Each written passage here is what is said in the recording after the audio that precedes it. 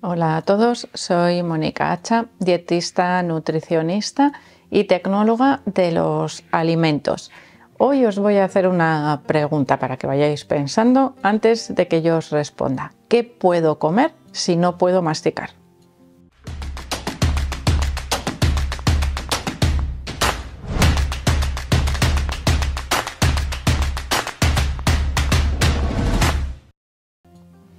Las dificultades de masticación pueden aparecer en muchas ocasiones. La mayoría de las personas pensamos, ¿cuándo no puedo masticar? Pues igual, pues porque me duele una muela, pero pensar que a lo largo de la vida nos podemos encontrar con situaciones en las que tengamos una dificultad para masticar durante largo tiempo, es decir, que no sea cuestión de uno o dos días o de que tomo un analgésico y mm, puedo comer durante unas horas que luego me vuelve a doler y ya no como, sino que nos encontramos con cambios en la dieta a largo plazo o a medio plazo, es decir, durante varios días, meses o incluso podrían ser años.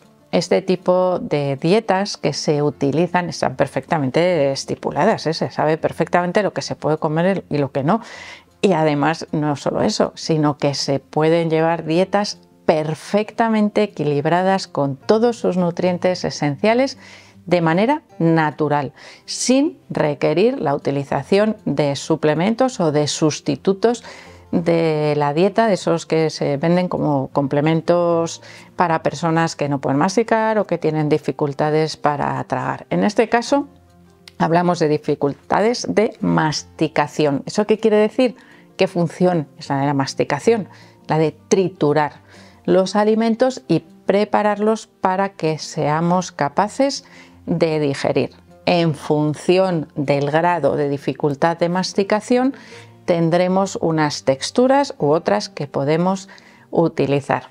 A este tipo de dietas, a nivel hospitalario, por ejemplo, se les denominan dietas blandas mecánicas, lo que falla es la mecánica de la masticación, o dietas de textura modificada o dietas de fácil masticación en varios nombres, pero la función es la misma, el ser capaz de ingerir, digerir y absorber los alimentos fallando una de esas partes del proceso digestivo, que es la trituración, la masticación de los alimentos.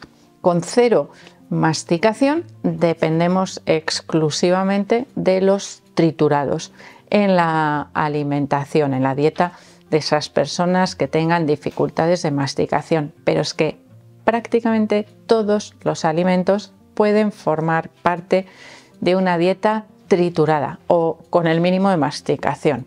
Y pensaréis, no, la carne, el pescado y los huevos, bueno, los huevos muy fácil, son unos huevos revueltos, no hace falta masticarlos. Simplemente con la presión, hay que aprender también, claro, algunas técnicas ¿no? para suplir esa masticación con la presión de la lengua o incluso, imaginaros que no hay dientes, con la presión de las mandíbulas, podemos mínimamente machacar un poquito más esos huevos, que no, con el tenedor. Los chafamos bien para que no queden trozos grandes y los vamos ingiriendo. ¿Por qué os digo esto? Porque el huevo añadido en los triturados mm, a veces modifica el sabor y puede no resultar del agrado de la persona que come. Porque, ¿qué es lo más importante en estos casos? No que la dieta o que el puré o que lo que se vaya a preparar incluya todos los nutrientes, sino que resulte agradable a la hora de comer. Otro alimento facilito y que no requiere incluirlo triturado en los purés, por ejemplo, sería el pescado, especialmente el pescado blanco, cortado finito y cocinado de manera que todo lo que yo pueda chafar o machacar con el tenedor se puede tragar posteriormente, pero no todo me permite machacar o chafar. En algunos casos, bueno, pues hay pescados que no son tan fáciles de ingerir a veces porque tienen espinas. Por ejemplo, los pescados azules de pequeño tamaño se deshacen muy bien, pero si tienen pelitos o si tienen espinas, eso activa como reflejos anti-tragar, protectores, y entonces bueno, pues pueden dificultar su consumo. Están malísimos y se mezclan con los purés. Así que habría que buscar pescados azules que resulten fáciles de consumir. Por ejemplo, las sardinas en lata son súper fáciles de retirar todas esas espinas, las escamas, por supuesto que pueden dificultar también su consumo. Y ahí estaríamos introduciendo ese pescado azul.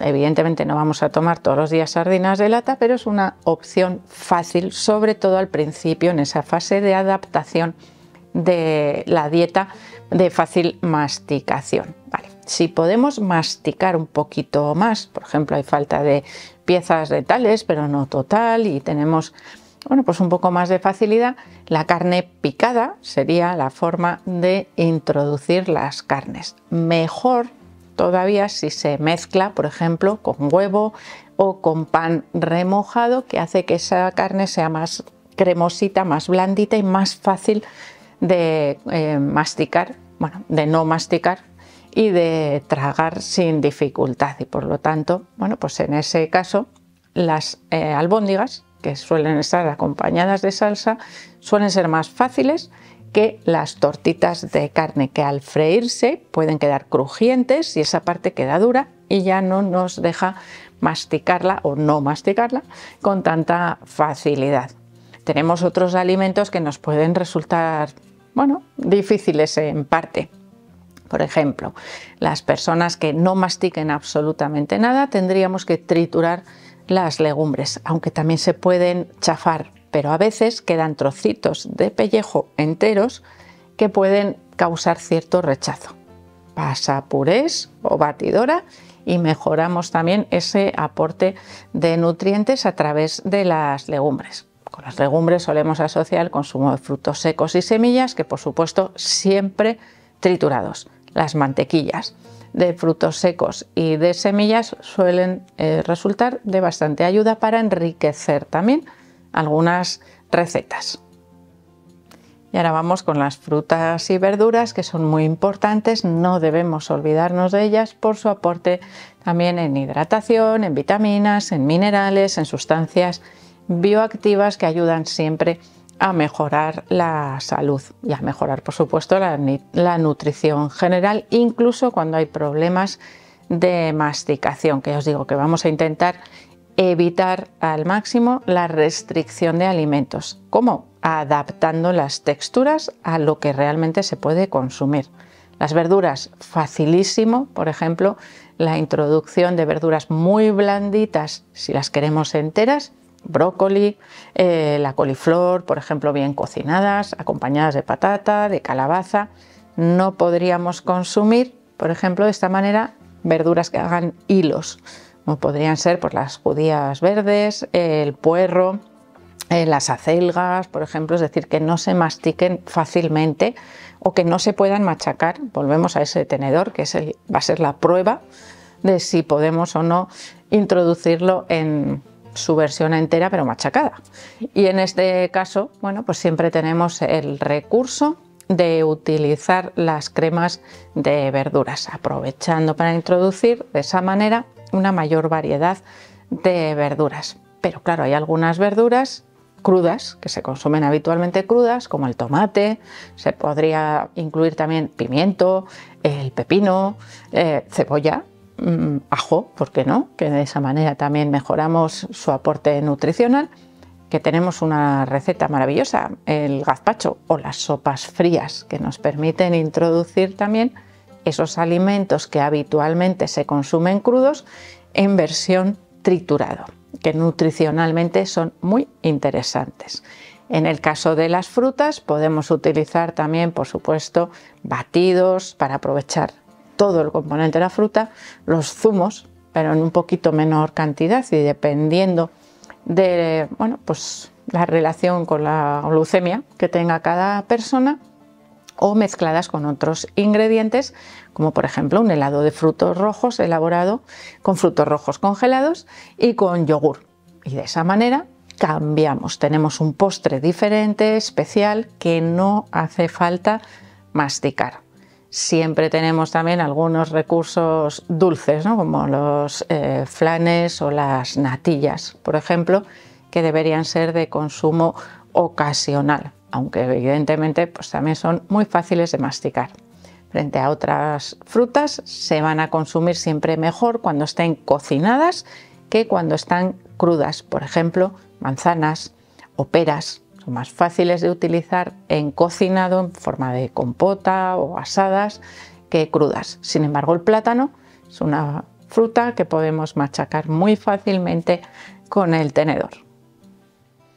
Así que cuando tenemos que adaptar las texturas porque no podemos masticar y de esa manera tenemos un riesgo de atragantamiento en el consumo de algunos alimentos, tenemos que priorizar una buena nutrición, es decir, el aporte de todos los nutrientes esenciales.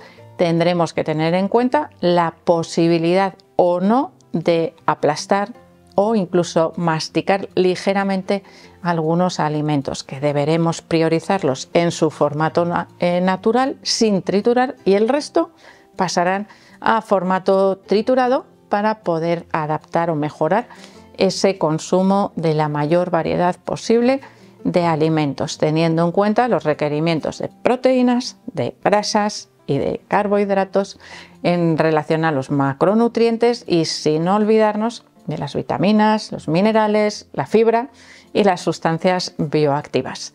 ¿Por qué? Pues porque los líquidos no tienen problemas, porque podemos tragarlos fácilmente sin masticar. Y ahí tendríamos el agua, por supuesto, infusiones, sopas y caldos que también nos pueden ayudar a mejorar la hidratación y a mejorar la ingesta de esos alimentos que puede costar un poquito más también eh, masticarlos, ¿no? Por eso, bueno, porque intentemos introducirlos de manera natural.